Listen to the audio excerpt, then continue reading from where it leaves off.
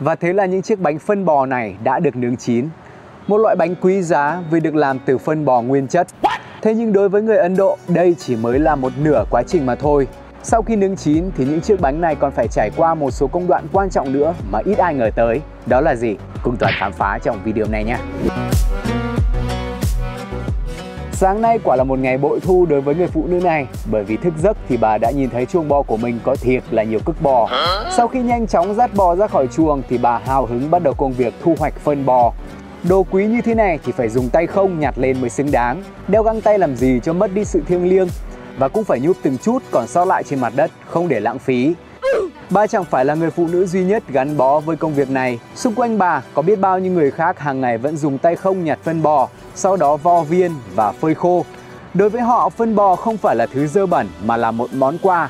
Phân bò không chỉ được dùng làm phân bón, nhiên liệu sinh học mà còn được sử dụng trong một số bài thuốc truyền thống của Ấn Độ để chữa các bệnh ngoài da, giải độc và tăng cường sức khỏe. Và đương nhiên là một thứ quý giá như thế thì phân bò không thể thiếu trong văn hóa ẩm thực của Ấn Độ. Ở cấp độ nhẹ, chưa phải là bánh phân bò ở đầu video đâu, mà là món bánh patty, một loại bánh truyền thống phổ biến được người Ấn Độ vô cùng yêu thích.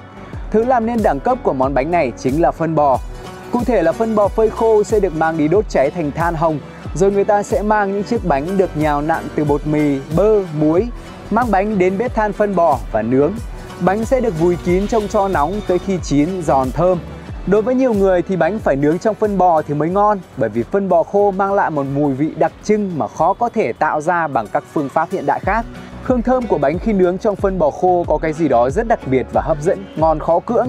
Khi bánh chín thì chỉ cần lấy tấm vải phẩy phẩy cho bay bớt cho bám bên ngoài bánh hoặc là sóc qua sóc lại cho sạch vỏ bánh là có thể ăn ngay. Đương nhiên là phải ăn theo phong cách truyền thống là ăn bằng tay và đương nhiên là phải dùng các loại nước sốt đặc trưng của Ấn Độ nữa. Còn nặng đô hơn, gây tò mò cực đỉnh và cũng dễ gây hiểu nhầm nhất thì phải kể đến chiếc bánh phân bò mà Toàn đã nói ở đầu video. Bánh nguyên chất từ phân bò chứ không hề có bột mì hay là ngũ cốc nào cả. Cụ thể, phân bò sau khi được vo viên, phơi khô sẽ mang đi nướng cho chín giòn trong những lò nướng khổng lồ, mỗi lần có thể nướng được cả trăm chiếc bánh. Nhưng mà những người cẩn thận sẽ làm cầu kỳ hơn Đầu tiên là phải mang phân bò đi đốt thành than, chờ cho than nguội thì vo nhỏ rồi đổ nước vào và khuấy đều. Ngâm một vài tiếng rồi lấy miếng vải sạch và lọc bỏ nước, chỉ giữ lại bã.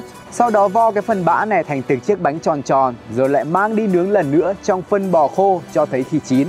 Bánh phân bò sau khi chín khô sẽ được mang đi đập nhỏ, nghiền nhỏ thành bột mịn. Thứ bột này được những người Ấn Độ giáo gọi là cho thiêng, một loại cho thiêng thuần khiết vì được làm hoàn toàn từ phân bò cho thiêng có liên hệ mật thiết với thần Shiva, người thường được mô tả là phủ đầy cho từ đầu đến chân. Đây là biểu tượng cho sự tiêu tan của vật chất, nhắc nhở tín đồ buông bỏ vật chất và cái tôi của mình. Cho từ phân bò hay là cho thiêng này còn được coi là một chất thanh tẩy giúp loại bỏ tạp chất và năng lượng tiêu cực. Vì thế chúng thường được bôi lên trán và các phần khác của cơ thể trong các nghi lễ và buổi cầu nguyện để ban phước và bảo vệ. Một hình ảnh rất thường thấy trong Hindu giáo. Không chỉ bôi lên trán, một số tín đồ thậm chí còn ăn cho thiêng với hy vọng sẽ may mắn và nhiều sức khỏe. Đúng là thế giới quanh ta có quá nhiều điều kỳ lạ ngoài sức tưởng tượng phải không nào?